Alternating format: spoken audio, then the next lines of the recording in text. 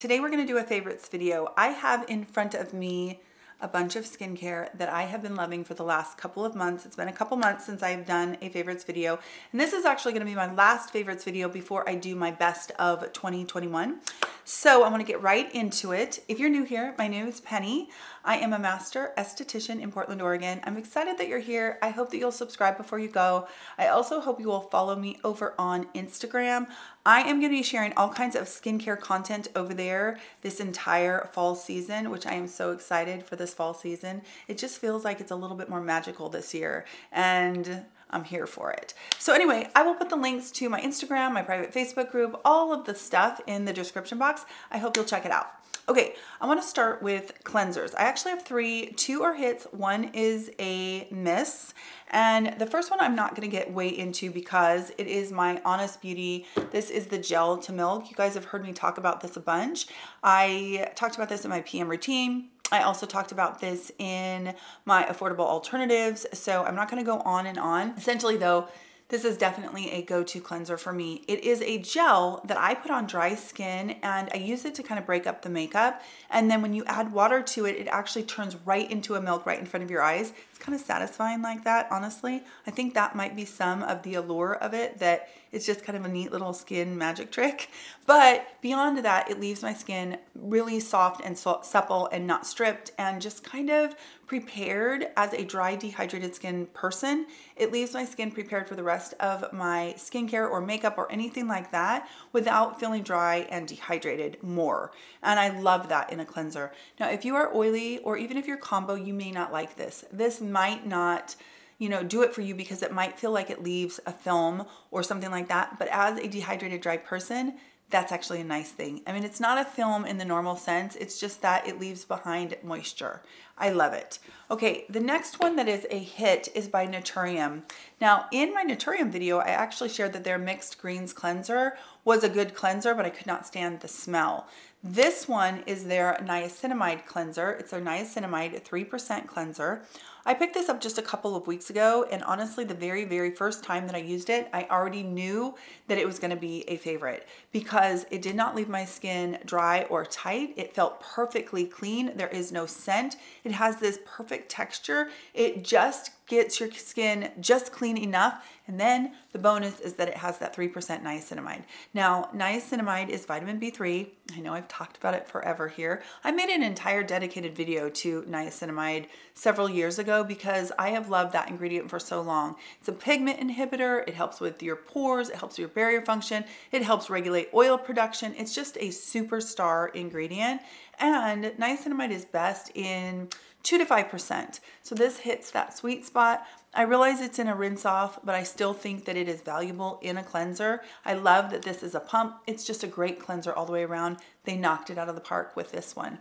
The one that's actually a fail is by Hero. I picked this one up at the same time that I picked up the Naturium, and this is their Clear Collective. The ingredient deck in here is amazing. It's got uh, mandelic acid, it has glycolic acid, it has uh, just a ton of things in here that look like things that I might like. It has pineapple in there for enzymes to help to gently exfoliate your skin. I just thought, hmm, maybe that'll be a really nice, gentle exfoliating, you know, kind of gelée is what I was hoping for. Well, unfortunately, I've used it a few times, and honestly, I can't even believe I used it past the very first time I used it because it literally sucked the life out of my skin. It dried my skin so badly that if I didn't put like an essence or something on right after, you know, within a minute, boy, my skin looked almost like just shriveled a little bit. Now, to I, I want to say that the ingredient deck in here is absolutely amazing. This is one of those cases where it really just wasn't appropriate for my particular skin type. So if you are combo or if you lean oily or if you're really oily, you might actually really like this because a lot of those alpha hydroxy acids and those ingredients in there are really great ingredients. It just doesn't agree with dry skin. So that is the Hero Clear Collective Exfoliating Jelly Cleanser. Okay, next I want to talk about something else I picked up at the drugstore that surprised me, and that is the number seven. This is the dark circle corrector. Okay, listen, I don't really buy into these kind of products typically. This is one of those products that has the little roller balls on it and it actually is pigmented. I will show you that in just a second. I keep this in the fridge. What I like about the design of the packaging is you actually twist it in order to get product out. And when you twist it and lock it, the product won't come out, which is really great if you travel with your products or, or if you just toss them into a bag or something, it won't get super messy because it's locked and it can't squeeze out. The color of this is very sheer, but it is kind of a peachy beige. So it definitely does give you in a skincare fashion, not in a makeup fashion, a little bit of color correction. So if you have the subtlest of dark circles due to uh, vascularity, greens or blues, this might really help to just barely give you a veil of color correction. What I like about it skincare wise is that it has caffeine in there. I find that in the moment that I'm using it, it definitely makes my under eyes look better. Between the color correction and the caffeine, I feel like it definitely gives them a boost. Do I think it's doing anything long term? Probably not. I think that this is almost like that bridge between skincare and makeup. It's not quite fully skincare that's going to have long-term benefits and it's not fully makeup because it doesn't have, you know, a lot of opacity. But I really like this. I'm actually reaching for it all the time in my skincare slash makeup routine. I don't use it at night. I just use it during the day. I obviously have it on today along with my skincare and my makeup. So I was really pleasantly surprised about this. I had really low hopes when I picked it up and I'm super happy that I got it. Okay, an oldie but a goodie that I've been reaching for a bunch also is the Sun Project Shimmer Sun Essence. This is by Thank You Farmer. I've been talking about this for a couple years. It's an SPF of 30, but I use it almost like a primer under my makeup. And I find that this is one of those products that I like to pull out in the fall slash winter because it has a little bit of an iridescence and for a normal to dry or dry skinned person, you will know that a little bit of iridescence almost gives this lit from within, fakes you out on hydrated skin.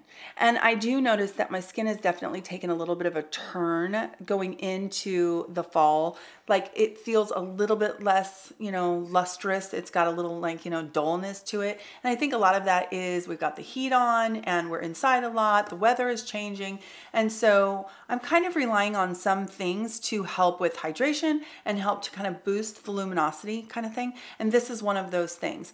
I just think it leaves the skin so pretty.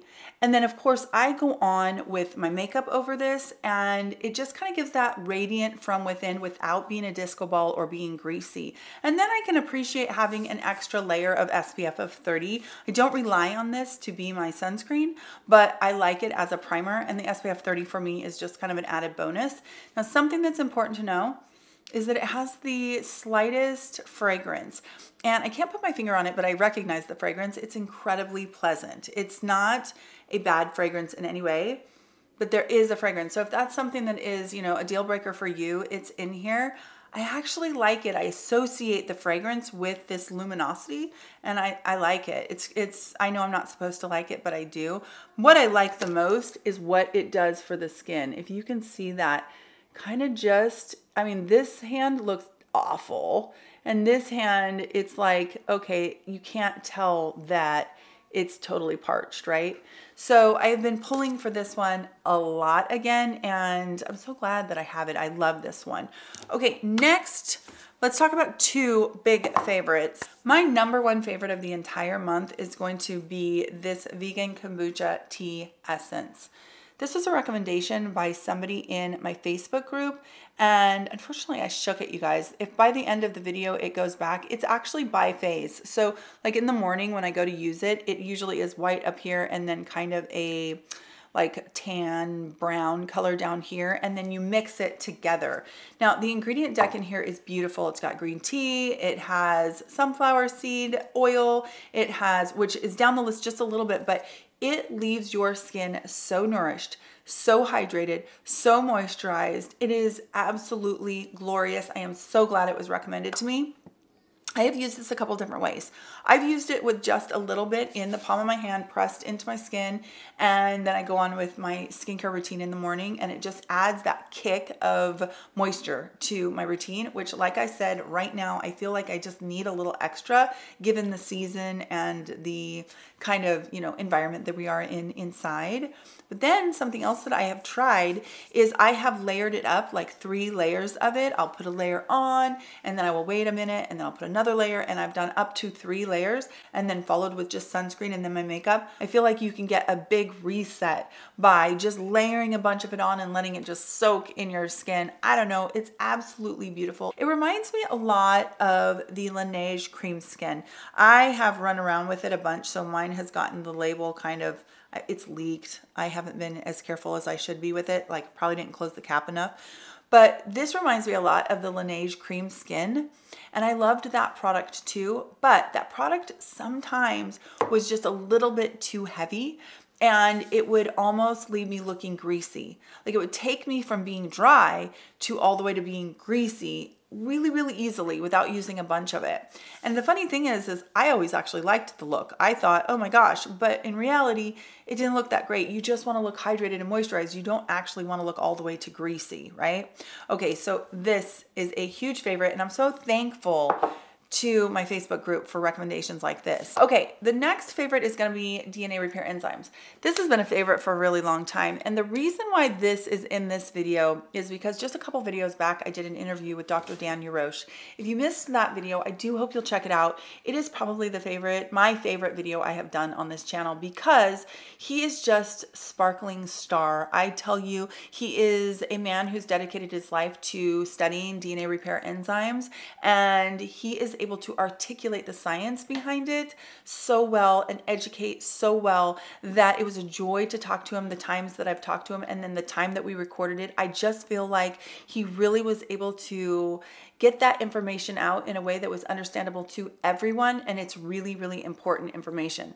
So after prepping for that video and talking to him and studying it even more, I realized even more how important DNA repair enzymes are to our skin health. Not just the aesthetic, not just for the collagen and the elastin and the hyperpigmentation aspect, but more for the skin cancer prevention and that sort of thing. So DNA repair enzymes are another big, big, big favorite. My favorite of the DNA repair enzymes is Photozyme and it is their DNA Youth Recovery Serum. This is my number one favorite DNA repair enzyme product that I have tried. Now I also like their cream that comes in a pot. I have it right here. I like this a lot, but if I had to choose, I'd still choose the serum. I love the body lotion, but to be fair, I don't use the body lotion as much right now in the winter with myself all covered up as I do in the summer, like when we've been boating or something like that, and I've had my arms and my legs out in the sun. I think that that is when that body lotion really comes in handy. Now, if you are somebody who has any, had any kind of skin cancers removed from your arms or your legs, or if you have any kind of actinic keratosis, anything like that, then you might like to look into the body lotion as well all year long. So that is a huge, huge favorite. I really do hope you guys will check out that video because I feel like the information in that video that Dr. Yarosh shares is invaluable. And I feel like you should share it with somebody that you love also, who, uh, you know, especially anybody who might have, you know, the predisposition to skin cancer. I just think it's really valuable information. Okay, we just have a couple more things and then I do have a couple fails. Uh, Revitalash foam. This is a huge favorite also. Uh, you pr can probably see how much grow out I have. I have definitely started to notice not only the growth of my eyelashes, big time, but the growth of my hair from using this. Now, I made that hair video a little while back, you guys, and it has taken months for me to start to go, oh, it's really starting to happen. So I have to say that this is expensive and it is not a one bottle and you're gonna see results thing. That is what I have figured out. I went through this whole bottle. I am, I went through a whole nother bottle that I threw away before I realized I wanted to show this. Then I am almost to the bottom of that bottle and I have another bottle just ready to go. So I am essentially on to my fourth bottle and I'm really starting to be like, wow, my hair is growing fast. Now people have asked, does it look thicker? I would say it's slightly thicker. It's not a lot thicker. It's just growing faster. So if thickness is your deal, then I don't know if this is worth the money for that. But if you are looking to try, like for me, I've been trying to grow my bangs out for a really, really long time. And they, of course, they grow, but they grow so slow that it's almost like the breakage happens faster than the growth. Well, I'm finally where my growth is happening fast enough that I'm able to trim up and I'm starting to see the fruition of the growth. So for me, this was a big hit and I'm going to keep using it. I've been using it long enough now that I can back off to like I don't know, every other day. Hopefully, pretty soon I'll be able to do every third day. And then I can, you know, really, it'll last me a lot longer. But it is a big, big hit for length, for sure. But again, I want to reiterate it is something that you got to go through a couple bottles and it takes a few months before you start to notice, and you have to get it in every day in the beginning, or else you won't see results and you'll just think you wasted your money. But that is a hit. And also the Revitalash serum is a great big hit for me. I don't have it here right now, but along those same lines, my eyelashes are finally back. I don't know if you can see them on camera, but you know, I got my eyelash extensions removed and my eyelashes were not bald because I'd already started using lash serums for several months prior to that, but I was using some other lash serums. And when I started using the Revitalash, that's when I think things kicked into high gear. And just in the last, I don't know, maybe three weeks, I'm like, okay, my lashes are actually long now.